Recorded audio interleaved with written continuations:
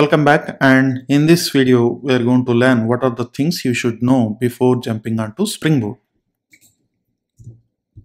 First let us see how we can get started with Spring Boot. There are various ways you can create a Spring Boot application like uh, there is a Spring Initializr which is an online utility where you can create a Spring Boot application or you can use one of your favorite IDEs also.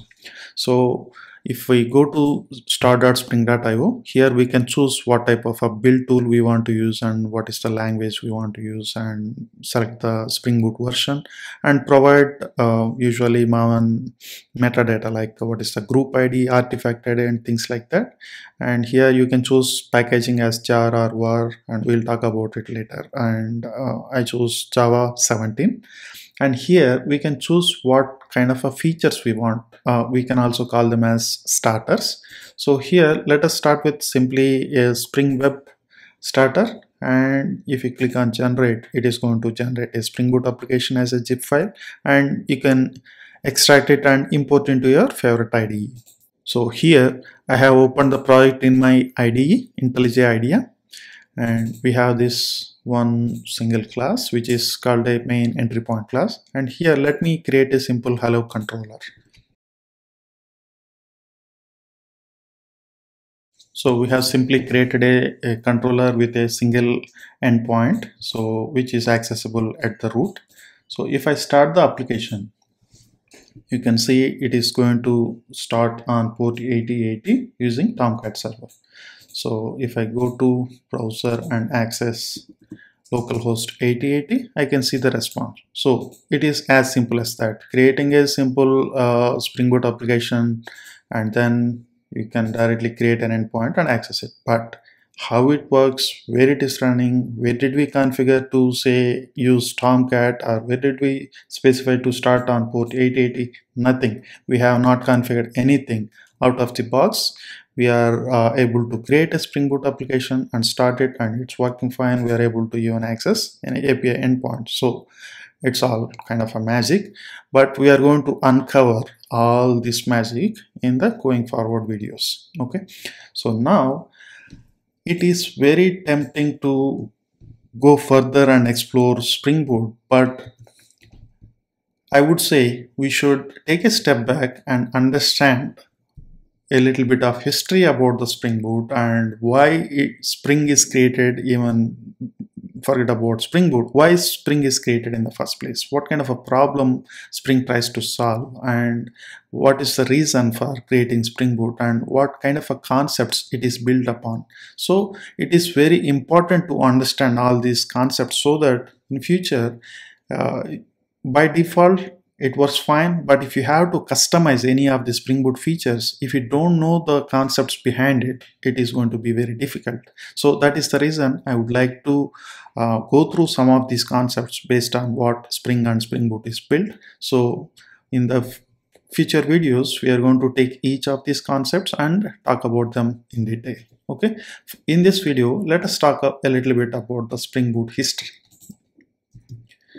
So before Spring came into the picture, uh, J2EE is the main platform uh, Java applications are created on. Like it provides uh, various services like uh, transaction management, security, and all in terms of using application servers like JBoss or WebLogic and WebSphere, things like that.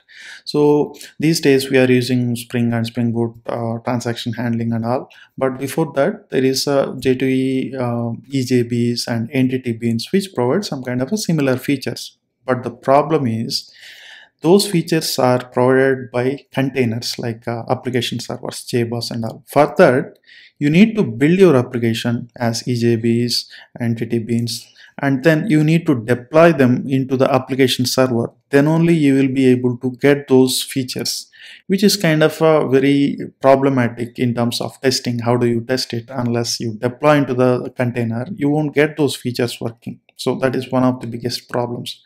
So to solve those Rod Johnson uh, created a Spring and community gathered together and then uh, it evolved over the time. Initially, Spring came up with this XML based configuration. You create your uh, beans and then you configure them in XML and you can boot up an entire application without having to deploy your application into kind of a container or anything like that but still you can get those features like security transaction handling all those features without having to deploy into any of these application servers which is a big deal. And then some people see XML as very verbose and didn't like it much. And then Spring team came up with this annotation based approach to configure the beans. So instead of configuring all those beans in XML, now we can simply annotate our classes with say component, add component or add repository, things like that. And it became much simpler. In addition to these approaches, there is a Java config approach also where you don't annotate those classes directly. Uh, instead, you can provide your configuration uh, using Java and use add bean annotations to define those beans.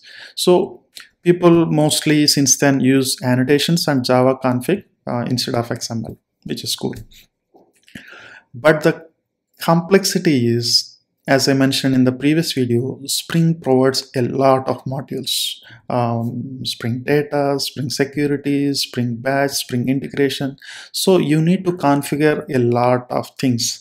Again, it's going to be like a lot of boilerplate repetitive code you copy from your previous project and then you tweak it to your new uh, application needs and it's kind of a very very repetitive and boring part and also problematic like uh, it looks very complex to configure all those beans. So Spring team thought about how to address these uh, concerns about this boilerplate configuration and then try out a few approaches.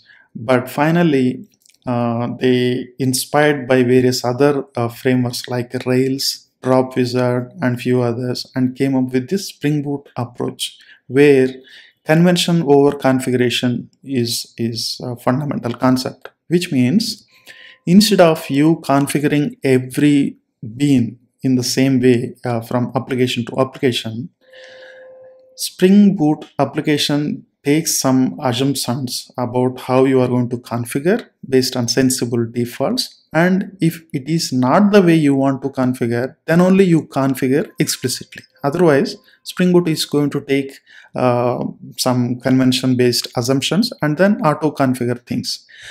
So Spring and Spring Boot is created based on various design concepts and best practices and uh, design patterns. Like there are concepts like programming to interfaces, loose coupling, high cohesion. So these are some of the concepts and also uh, various Spring features are built by leveraging some of the design patterns concepts like uh, dependency injection, front controller pattern, template design pattern and proxy. So all these design patterns are used behind the scenes by Spring and Spring Boot so that uh, when you are using some Spring Boot features, underlying you are leveraging these concepts without even you realizing probably. So we are going to talk about these concepts and these design patterns and how Spring Boot is leveraging them to provide some of the features. We'll talk about them in the next videos. So stay tuned for the upcoming videos. Thank you. Bye bye.